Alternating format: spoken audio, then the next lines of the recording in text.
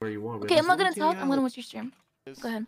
I like Murloc games, but there are some builds that are really not playable with games where Murlocs exist because it's not just that like people who play Murlocs. Truth is, they often won't. But sometimes they do, and sometimes they absolutely delete some of the other builds from competing. The poisonous effect still has its oh problems God. in that way.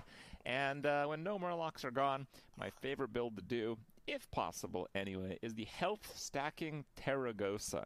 And to add another level of Okay, that's fucking funny.